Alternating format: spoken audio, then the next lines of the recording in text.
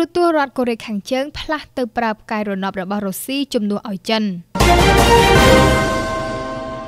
ក្រសួងបង្រួបបង្រួមនៃប្រទេសកូរ៉េខាងត្បូងបានឲ្យដឹងកាលពីថ្ងៃអង្គារថាកូរ៉េខាងជើងទើបតែបានផ្លាស់ការបញ្ជូនរលកសញ្ញាពីការផ្សាយរបស់ទូរទស្សន៍រដ្ឋពីផ្កាយរណបរបស់ចិនទៅកាន់ផ្កាយរណបរបស់រុស្ស៊ីវិញខណៈទង្វើនេះគឺកើតមានឡើងស្របពេលដែលរុស្ស៊ីនិងកូរ៉េខាងជើងកំពុងមានភាពស្និទ្ធស្នាលកាន់តែខ្លាំង ទីក្រុងមូស្គូនិងព្យុងយ៉ាងជាសព្វនមិត្តនឹងគ្នាចាប់តាំងពីប្រទេសកូរ៉េខាងជើងក៏កើតឡើងក្រោយសង្គ្រាមលោកលើកទី2ម្លេះប៉ុន្តែទំនាក់ទំនងប្រទេសទាំងពីរបាននឹងកំពុងក្នុងស្ថានភាពល្អុកល្អឿនបំផុតចាប់តាំងពីរុស្ស៊ីបានបើកការឈ្លានពានលើអ៊ុយក្រែនហើយរងការដាក់ទណ្ឌកម្មនិងសម្ពាធពីក្រុមលោកខាងលិចកាលពីខែមិថុនាប្រធានាធិបតីរុស្ស៊ីបានបំពេញទស្សនកិច្ចទៅកាន់កូរ៉េខាងជើង ដើម្បីជួបមេដឹកនាំកូរ៉េខាងជើងលោកគីមចុងអ៊ុននៅឯទីក្រុងព្យុងយ៉ាងហើយអ្នកទាំងពីរបានចុះសន្ធិសញ្ញាសំខាន់មួយក្នុងនោះរួមមានការបដិញ្ញាផ្ដល់ជំនួយយោធាបន្ទាន់ឲ្យគ្នាប្រសិនបើភាគីណាមួយរងការឈ្លានពានប្រដាប់អាវុធសូមបញ្ជាក់ថាការផ្លាស់ប្ដូរផ្កាយរណបខាងលើគូរំលឹកឲ្យឃើញពីរបៀបដែលទីក្រុងព្យុងយ៉ាង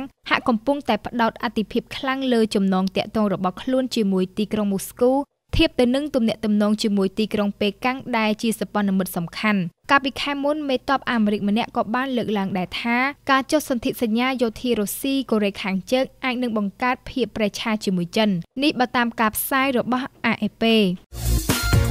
កាត់បន្ថយការទទួលទានសារធាតុអំបិលឲ្យបានតិចជាង5ក្រាមនៅក្នុងមួយថ្ងៃឬមួយស្លាបព្រាកាហ្វេ ចាប់ផ្ដើមពីការកាត់បន្ថយការថែមទឹកត្រី ទឹកស៊ីអ៊ីវ